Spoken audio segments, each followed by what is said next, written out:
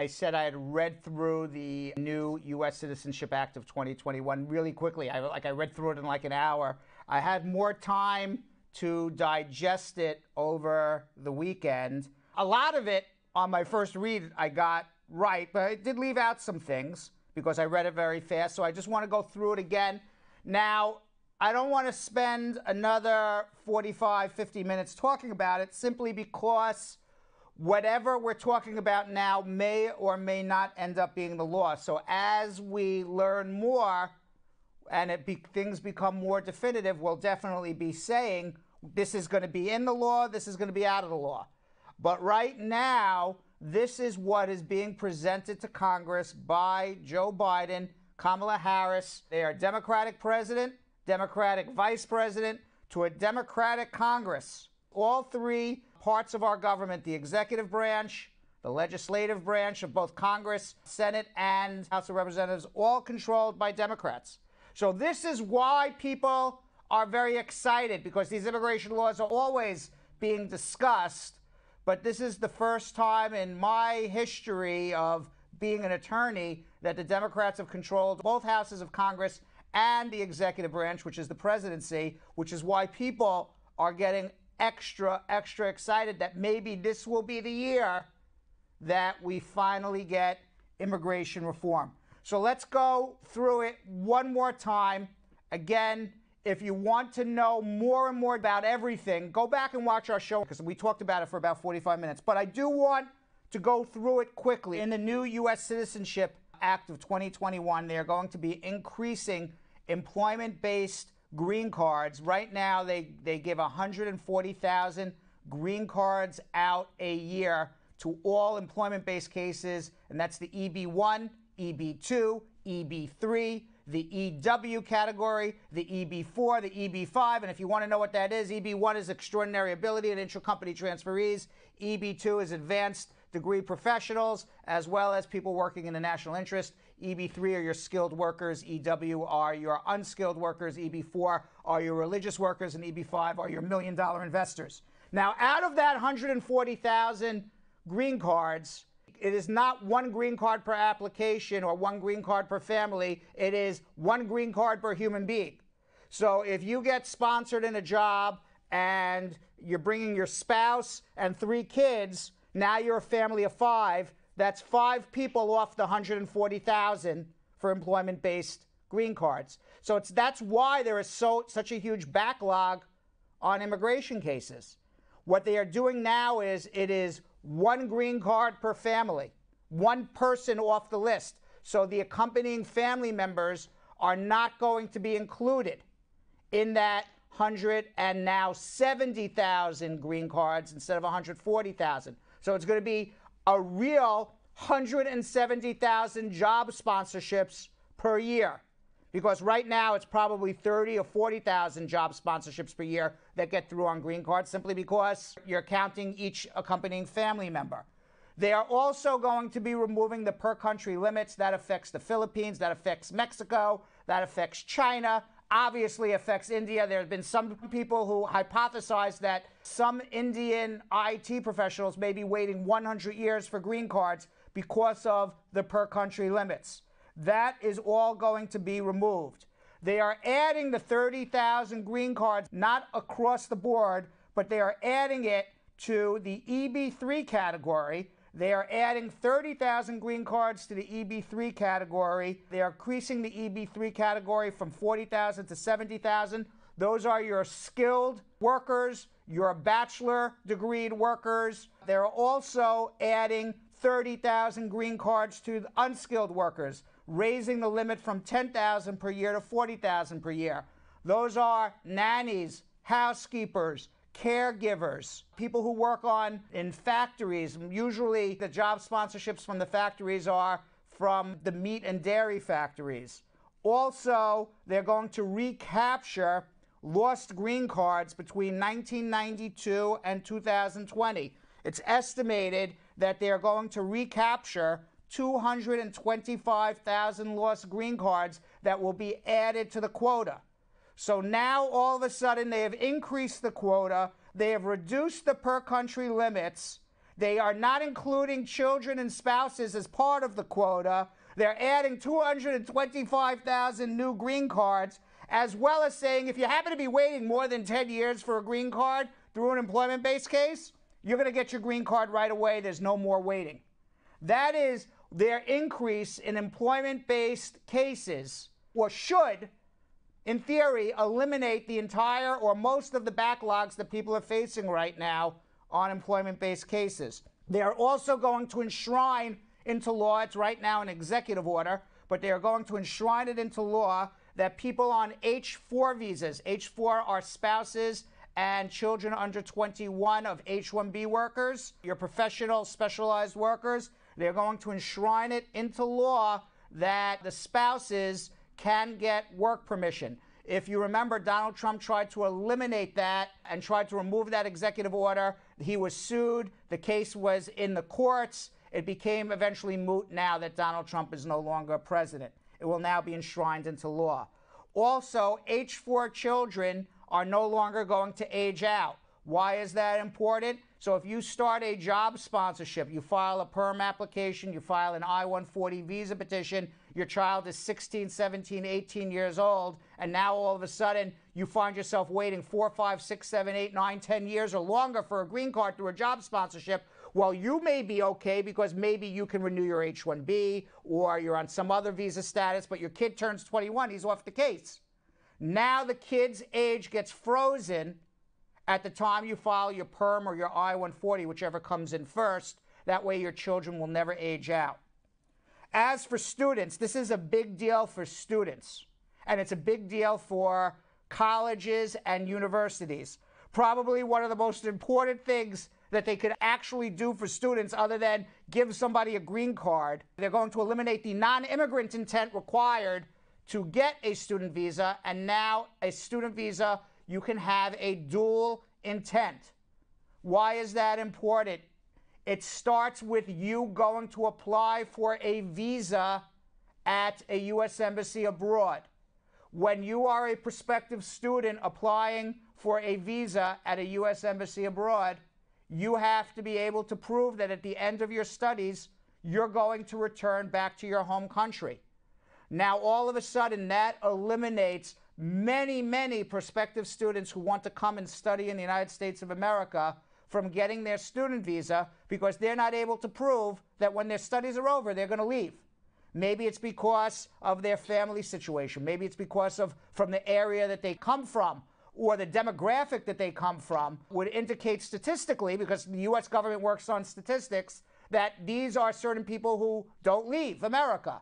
Well, now you won't need to do that anymore. Now, to get a student visa, if this law passes and they eliminate, they eliminate that non-immigrant intent, for all intents and purposes, as long as you can show you're not a threat to commit crimes or terrorism or anything like that, and you can show that you can be able to pay your tuition without taking a job, you will get the student visa. You just need a good sponsor now. That's it. You don't have to show that dual intent. And then what also is is that once you are here as a student, maybe you get sponsored in a job.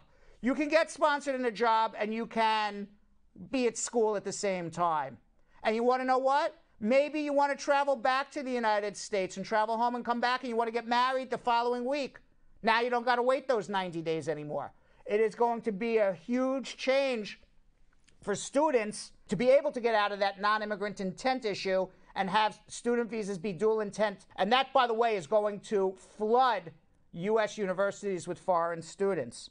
Now, also, what's going to happen is that if you are studying in science, technology, engineering, and math, you are no longer going to need to leave or be subject to number quotas on who can get sponsored in a job. If you are a science, technology, engineering, math degreed major, you would be eligible for a green card immediately, provided you have a job offer. Now, for those who are not science, technology, engineering, math, and have the OPT, they can do a job sponsorship directly for a green card and keep renewing their work permit year after year until uh, they get their job sponsorship complete.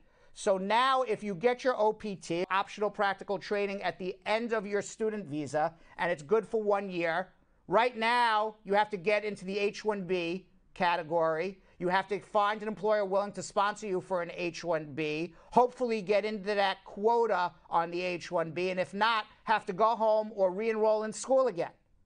Now you can jump, you can forget H 1Bs if you choose to and your employer chooses to. You can go straight for a job sponsorship, start a perm, start an I 140, and while that case is pending, be able to renew your work permit year after year until you get your green card. The same is going to be for L1 visas as well.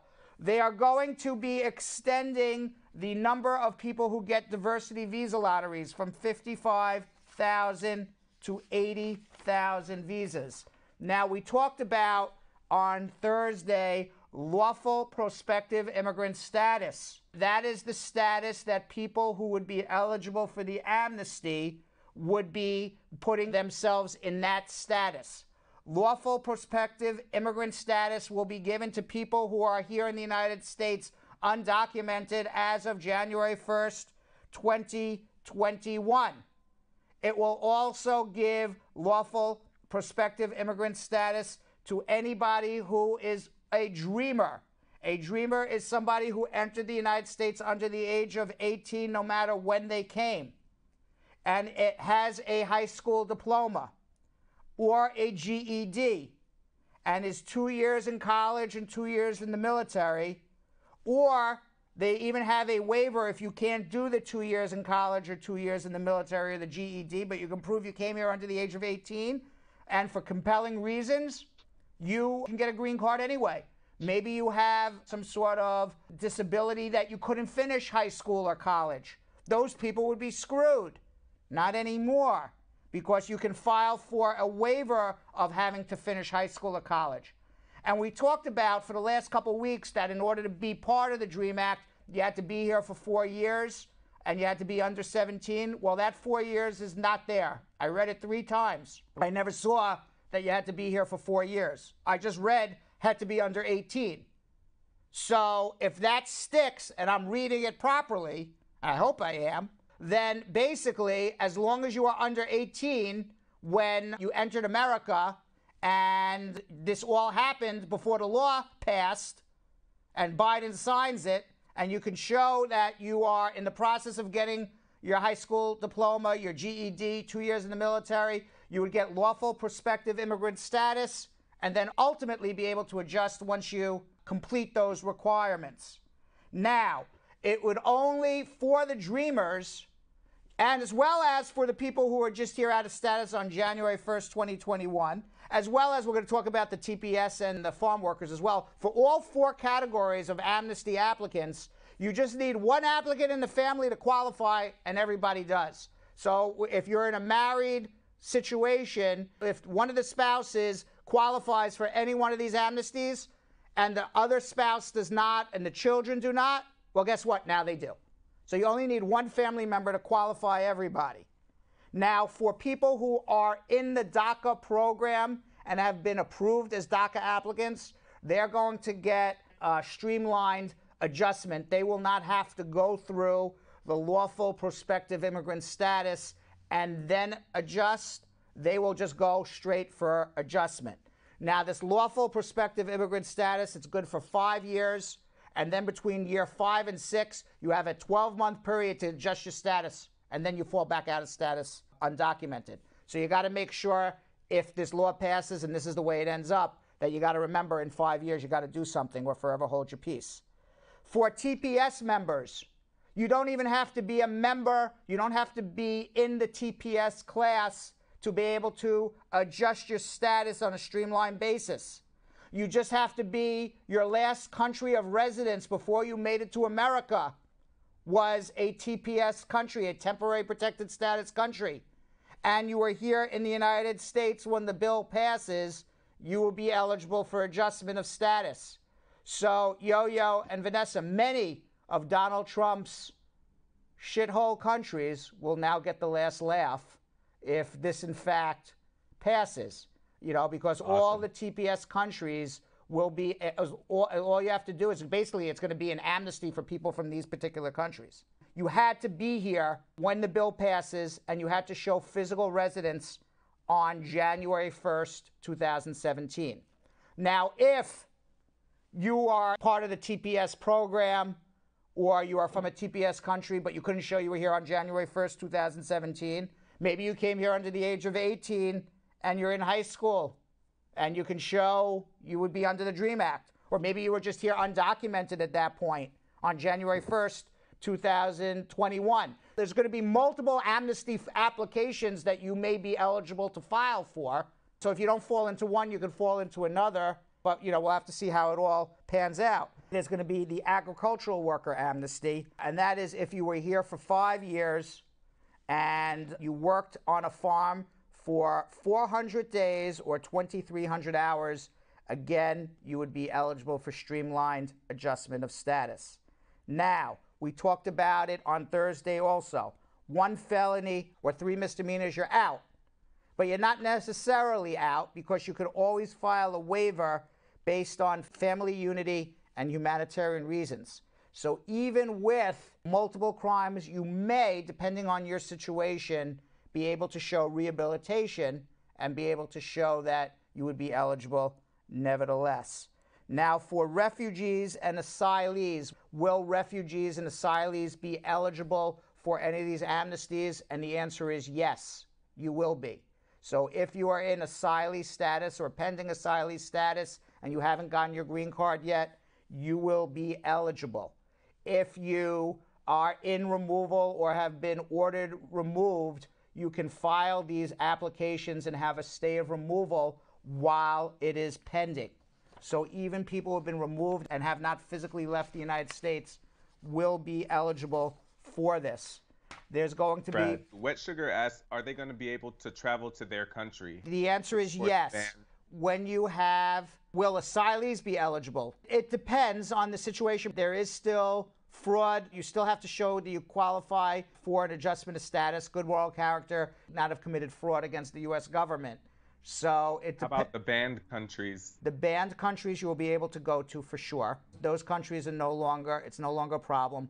Under the law, under the law as it's written right now, you will be able to get travel permission and work permission for up to 180 days to leave and come back, but you can't stay out for more than 180 days. I have on you to Yes. marry taxing nothing for overstayed people. So is there anything for anyone that's here overstayed? Yes, the answer is yes. You would fall under the general amnesty, which is if you were here as an overstay on January 1st, 2021, you would be eligible for your lawful prospective immigrant status. So anybody who is here undocumented, out of status, overstay on January 1st, 2021 would be eligible. If not, you could always file for adjustment. They are going to be eliminating the three and 10 year bars. You can do an adjustment. You can do a job sponsorship, and the number of job sponsorships are going to be doubling and tripling. So, presumably, you would be able to do a job sponsorship, go home, and come back without a problem. Tori Davis asked Brad, do you really think Biden will end the family ban before the 31st of March? No, I think Ah. as of April 1st, and we've been speaking to U.S. embassies around the globe just for our current clients, and the general information we've been getting back is they'll be called sometime after April 1st, which is around, which is the day after. So even I believe the U.S. embassies don't believe anything is going to be is going to be revoked before then. But I would be very surprised, especially now that they're opening up here in New York City, for example, theaters, indoor dining. It seems that COVID is going down in the United States. I would be very surprised if Joe Biden, who is, seems to be a very pro immigration president, would invoke the ban beyond March 31st. And what about VAWA applicants?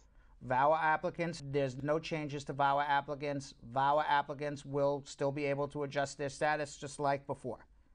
Now, one thing that's going to change, though, is the inclusion of permanent partners. Permanent partners are going to be put in the same position as a spouse. So, a permanent partner is defined here in the law is a committed, lifelong, intimate relationship, and you have a financial relationship.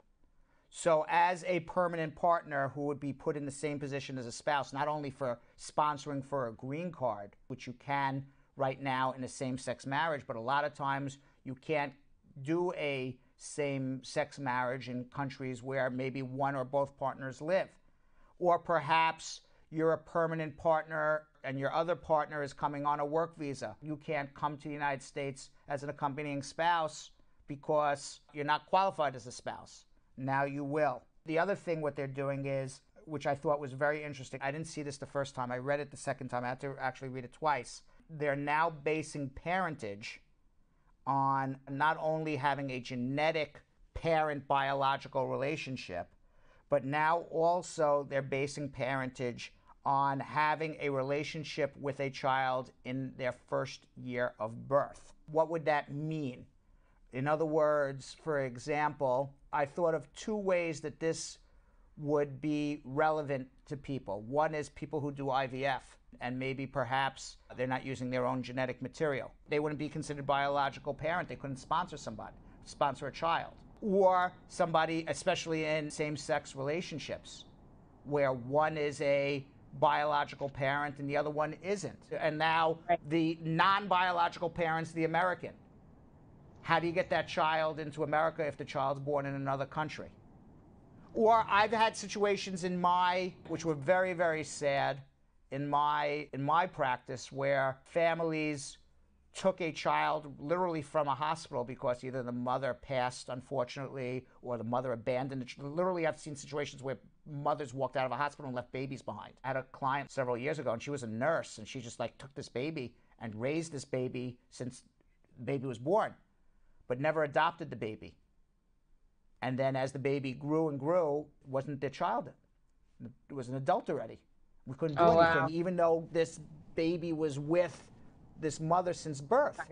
So, I mean, I could think of a lot of ways where that would come into play. For naturalization, there's two things that they're doing for naturalization now to make it easy to become U.S. citizens once you have a green card. One is if you're over 65 and you've had a green card for more than five years, you don't have to take the written test of English. So, over 65, green card for five years, you can speak any language you want. Also, if you graduated high school here in the United States, you would not be required to take the naturalization exam, period. Also, they're going to roll back the five year wait for citizenship if you can prove that three years before you obtained your green card, you were lawfully employed in the United States. Meaning, then it would be a three year wait after you got your green card, not five. So, for example, there's situations where people have H's, L's, E visas. They've been working here for years and years and years, finally got their green card, and then have to wait another five years. Well, as long as they were able to show they were employed for three years before they got their green card, their wait would only be three years for citizenship, not five. Or the other thought I had was people sometimes adjustment applications are pending for years and years and years, and they keep renewing their work permit year after year after year. Well, now that time period would be counted towards citizenship, and you'd be able to do it for three years instead of five years. And they're also going to enshrine into law that people who file for asylum must get their work permits within 180 days of filing. And finally, if you're filing for asylum, you do not have a one year bar to apply. You can apply whenever you want, whenever you realize that you have a fear of returning to your home country. Now, I summarized a lot more there's a lot more I talked about Thursday. I don't want to be repetitive, though. Nikisha Bailey saying, what about people that have entered illegally? Will they qualify to adjust their status through family sponsorship? No, they will not. They would still have to go home, but you wouldn't have a three and 10 year bar. If you came illegally before January 1st, 2021, and you're going to be physically here on January 1st, 2021, well, it's very possible that you would be eligible for lawful prospective immigrant status. Maybe you say, you know what, I'm scared to go home. I don't want to go home and get my green card and come back. You can do the amnesty. Perhaps you entered without inspection through, and your last residence was a TPS country. You can apply directly for your adjustment. So most people who come in, I wouldn't be surprised if have multiple options on. I have um, one on YouTube. Quick. I have Kiki asking for the DREAM Act. If the DREAM Act is passed, would those kids get immediate green cards? If the DREAM Act is passed, the people in DACA would get immediate green cards. People who are not in DACA, if you were under 18 when you came to the United States, two year you graduated high school or GED and do two years of college or two years in the military, you would be eligible for adjustment of status. But the DACA recipients would be immediately eligible, which is a different category. Cynthia Francis asked, uh, "What if you come on a B1, B2 visa and didn't go home? Are those people included?" Yes, those are visa overstays, undocumented Those visa overstays. visa. From Elizabeth Francis, what about if you have a son who's over 21 and you're a green card holder? How long will it take, or will there be a new law to get them here faster? Yes, there will be a new law. We talked about it Thursday. That was the V visa. I just brushed on it. I said about one sentence about it today. There's going to be a V visa that for anybody who has an approved I 130 visa petition for their children, whether married, single, whether you're a resident, whether you're a citizen, they would be eligible for V visas to come to the United States, to reside in the United States with you. They would get work permission while they are waiting for their green card. So they would be able to wait in America with you instead of waiting in another country once the I 130 visa petition is approved. The other thing is is the F2A category, we talked about that on Thursday as well, is going to be immediate relatives. The F2A category, those are spouses of permanent residents, those are children under the age of 21 of permanent residents, those are going to be considered immediate relatives. Immediate relatives means there's no quota, you can get your green card right away. On Friday night, the U.S. District Court for the District of Columbia issued an emergency injunction extending the validity of most diversity visa lottery winners for the 2020 diversity visa lottery. So, for all intents and purposes, there was a case Gomez versus Trump. Well, the pumpkin lost. Gomez and the class of DV lottery applicants win. And for all intents and purposes, if you are a winner of the DV lottery, you will be able to process through for the year 2020. And the reason why was because Trump made that proclamation barring people from getting green cards. But for diversity visa lottery applicants, you had to complete your case in 2020, which was impossible because Trump basically blocked you from coming.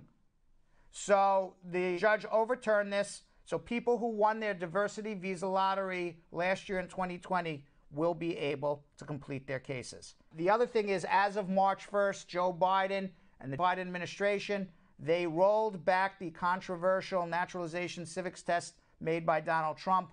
It was a much harder test to try to trick people or get them to fail. They wanted more people to fail their citizenship test. They made it harder. Well, Biden has rolled it back. You're going to get, if you get your citizenship interview between now and February 28th, you're going to get the Trump citizenship test, unfortunately. But after March 1st, you're going to get the Biden citizenship test, which is the old one. The good news is, is if you fail, they always give you a second chance to come back. So even if you fail the Trump one, you'll be able to go back and take the Biden one down the line. Although Joe Biden has not rolled back the additional poverty guideline requirements that Trump put in, the Form 944 still has to be filed with your immigration paperwork. Although, interestingly enough, it's still not not on the USCIS website that says you have to do it, but the law is you have to do it right now. The Supreme Court is taking that case up. Biden has not rolled that one back. All he did so far on that is put together a blue ribbon panel to see about the poverty guidelines.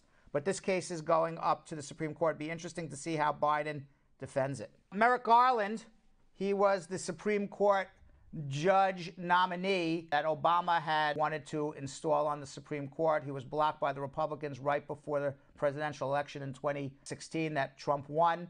And then you remember the Supreme Court was only eight judges for about a year until Brett Kavanaugh was sworn in as the ninth judge. It really should have been Merrick Garland should have been the judge. Well, now he's back before Congress, not to go for hearings to be a Supreme Court justice, but as the Attorney General nominee.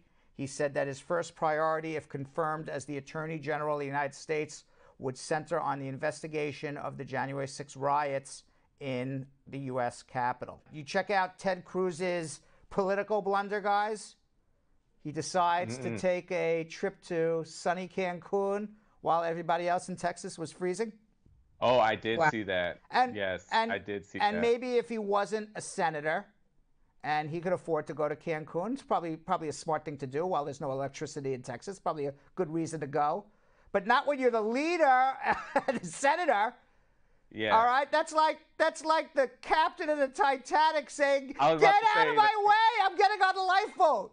No, the captain of the, Ti- the captain of the Titanic doesn't get on the lifeboat. The captain of the Titanic stays. He's the Right. leader. What kind Yeah. of leader gotta is that? the ship, Captain. You have to sail the ship. Yeah, it reminds me of a Seinfeld episode. I don't know if you ever watched Seinfeld.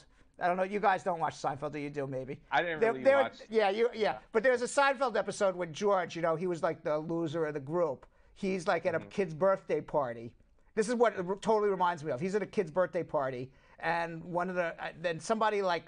You know, the fire alarm goes off by mistake, but that was like when they were bringing the cake out and he smelled smoke. So he thought there was a real fire. So he starts yelling, fire, fire. And when, you know, all the teachers are trying to get the kids out and like being, you know, the, you know, the do the right thing. And George, Uh-huh. you know, runs over all the kids, throws them aside, you know, and it's like the first one out of the building. And everyone's like, what are you That's doing, exactly man? what it sounds but like. that's exactly what Ted Cruz did. He's like running out of the building. He left all the kids behind. Trifling. Yeah. And then Trifling. How they got that picture. I wonder who took that picture. Right, and then stupidly he comes back. He comes back. When he comes back, he comes back wearing the mask with the Texas flag on it. This guy's Right, like the nah. this guy's like the worst. And you know, Yeah. and he blamed it on his kids. He said, "I was just trying to be a good dad to my kids. They wanted to go to Cancun. I was accompanying my children Sure. there, and I was returning." Right. Yeah, right. Boy. I was Right. just being a, a guy. Meanwhile, I mean, you see, unfortunately, that's that's the you know the the sacrifices that you have to take. You know, so I do understand with him saying I was doing it for his kids because I mean he's still a parent at the end of the day. But that's the unfortunate thing. It's just like with public figures. If if you take on that role, you know that you're going to have to sacrifice some things. It's like you have all your people there literally dying. Their houses are trashed. And you take a vacation to Cancun. It's like at this point you're gonna have to tell your kids, sorry, daddy has to do work. We're gonna do it maybe next month. And- but like, you know, you can't do that. and I find it very hard to believe that the uh, senator from Texas what, wouldn't be able to find a warm place to stay. It's not like uh, it's not like you know they they were living out in their car freezing to death. Okay, Right. So you know, and the trip was for him and his wife, and that's just B B B B with a capital yeah. B with a capital Brad Show Live BS. right. Right. Meanwhile, New York Representative Alexandra Ocasio Cortez, she was in Texas, and she's not even from Texas. Why? Because she's a leader.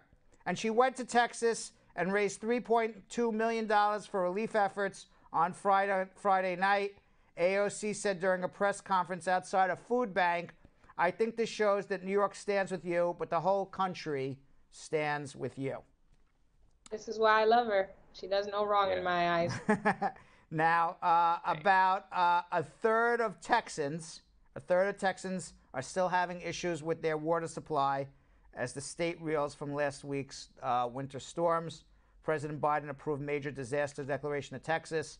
If you watch Fox News, if you watch Fox News, it's they're blame they're blaming wind turbines and green energy, which is the problem, which is the biggest lie in the world. It's not green energy. It was that the natural gas pipes that were pumped from the ground froze, and the electric grid was from the year of God knows what that wasn't able to handle all the additional uh, usage by people who were turning up their heat.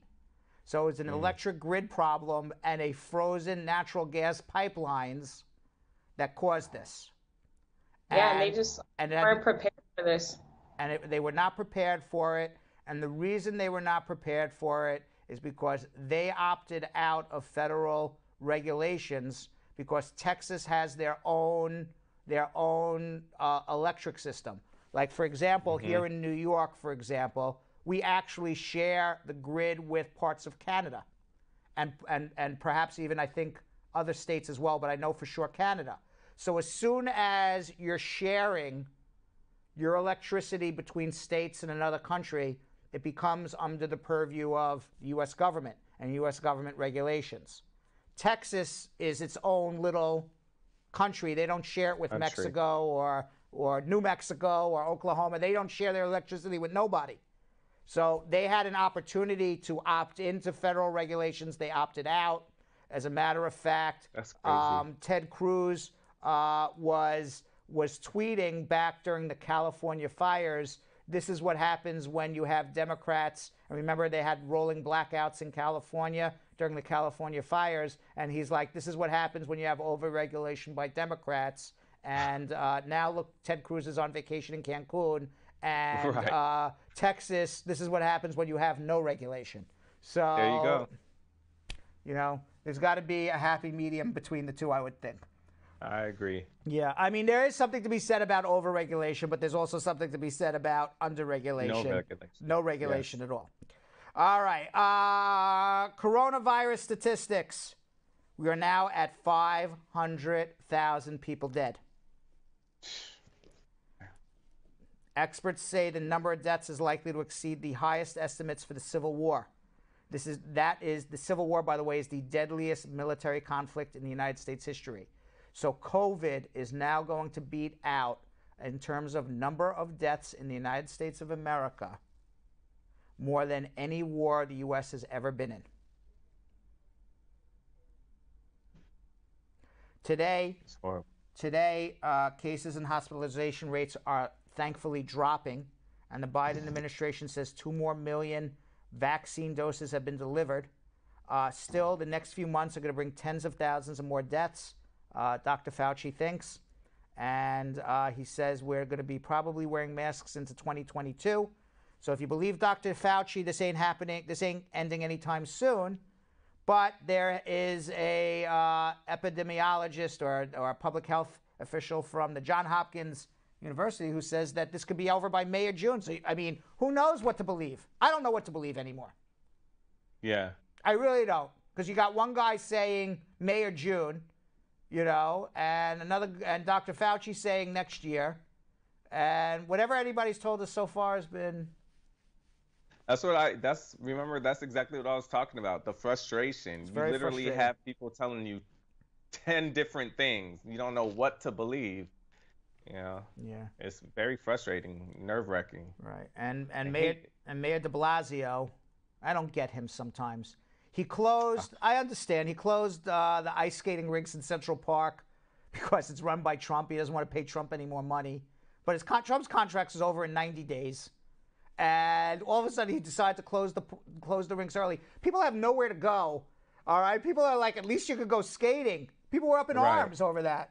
Come on, De Blasio. But he changed his mind after the fact. Who cares if Trump earns a couple dollars? Let people go out and enjoy themselves somewhere. Right. You know. Meanwhile, movie theaters in New York City are going to be open for the first time March 5th. Would you go see the movie now? I love going to the movies, but I don't know. I've I've been watching it. I got a big old 80 inch screen. I got some new surround sound. I I'm a little afraid of that. I don't think. I don't think. I don't think. Um, I don't think movie theaters are going to come back. What do you think, Really? Nesquik? No, At all? no. I think people got used to staying at At home. all? Maybe a few, but not like it was, where you could like, oh, you know what? Uh, Black Panther's playing here, and they're playing there, and they're playing here, and we can pick all our different times to shoot, decide when we're going to see Black Panther. Now it's It going to be like, be you know, now now it's going to be like there's like three movie theaters in your whole town, and you know what? Black Panther's only playing at one, and if you don't show up at seven o'clock, you're not watching it. That's what I think. No, I, I think I theaters are gonna they're gonna open back up. Like I'm lucky enough to have like the Fire Stick where I can watch any movie, but everybody else doesn't have that, you know. So a lot of people need uh, uh, an establishment, uh, a theater, in order to see these new movies. Some so some people haven't seen a new movie in over a year since the theaters closed. Like I said, I was lucky enough to see them because I get sent you know, a lot of the movies where I have to do, you know, different Right. videos and stuff from them, but not everybody gets that. So I think that, you know, we still have a big population that are gonna need these theaters to open up. It's just got to be, it's gonna be in different regulations. I think it's, you know, they probably won't have it uh, set, like till 70, 60% full, you know, some stuff like that. But I think they'll open back up. A little fish was stuck swimming upside down due, to a case of swim bladder, which is a disorder that affects fish's buoyancy, according to the Daily Mail. Unfortunately, the goldfish owners were told that this case of swim bladder was untreatable, and they were very sad about their goldfish that wasn't able to swim and thought the goldfish would not make it much longer. So, saddened by the idea of their goldfish swimming upside down at the bottom of the tank for the rest of his life, pet owners sought out alternative treatments. Their quest to get the fish righted led them to the Garden Sanctuary, an animal shelter in Wolverhampton, England, and its founder, Stacey O'Shea. Taking pity on the upside down fish, O'Shea used her animal expertise to craft a little life jacket for the swimmer. O'Shea used tiny plastic tubing, filters, and poly polystyrene to create a goldfish life jacket, which is weighed, weighed just enough to keep the fish righted without dragging it to the bottom of the tank. To ensure the goldfish got the most out of life, O'Shea made the weight of the life jacket adjustable so the fish can swim to every part of its tank. Oh, I, that a I just big- That, that, that's nice, except what about all the poor fish these fish have been catching that we eat every day? Now I feel now I feel bad for all the fish that we're eating. listen, privilege. That's a privilege. That is a privileged fish, right? Sounds like a real life Finding Nemo story, like Yeah. the fish with a bad fin. You know, you know, like you know, like when you know, like you see like some, you know, uh, you know, really wealthy, wealthy kid who's like, you know, just a big fool, but just, you know, you know, dad's a rich, rich kid and rich guy, and like, oh, Lucky Sperm Club. That's that fish is Lucky Sperm Club, right? That's yeah, that's Right? absolute, absolutely. like, look at that. You have your own life vest, a Yeah. fish. A fish. Meanwhile, uh, residents in Texas have been rescuing cold, stunned sea turtles and taking them to a convention center in South Texas resort town.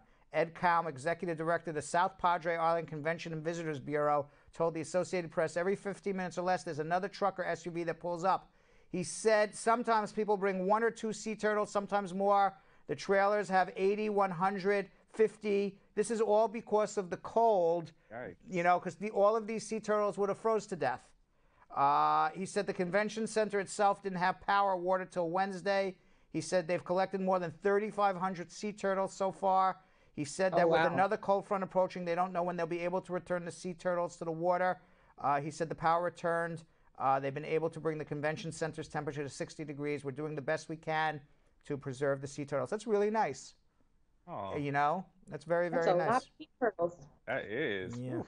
Yeah, 'cause- I mean, you ever you ever go to the beach and see sea turtles?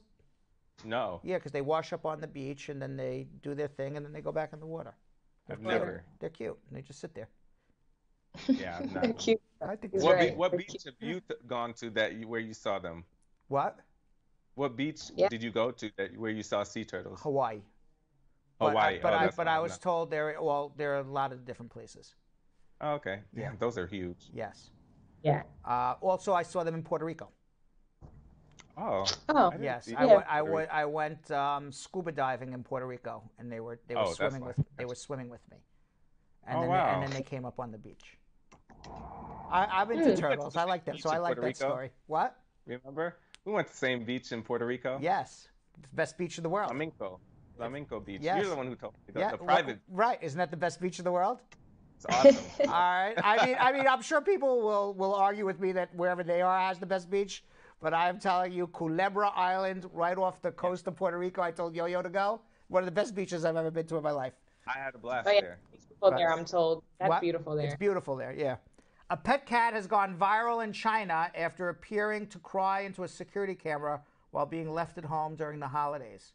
The two-year-old British short-hair Fufu supposedly was crying while hearing his owner calling his name through the home monitor. The pet owner, Mrs. Meng, said she was checking on the feline via a surveillance app on her phone when she saw the heartbreaking scene.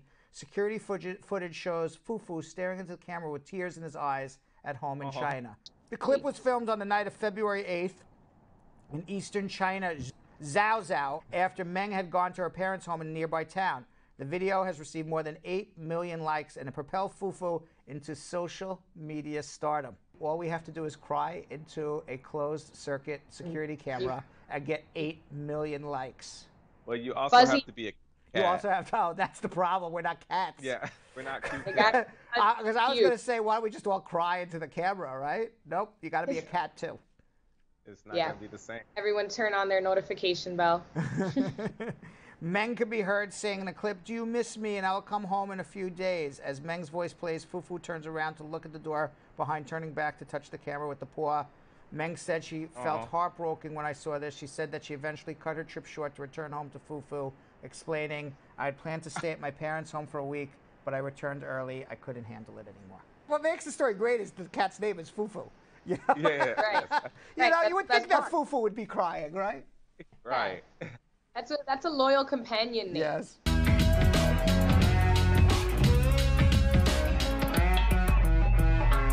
Thanks for watching. For more Brad Show Live, like and subscribe to our YouTube channel.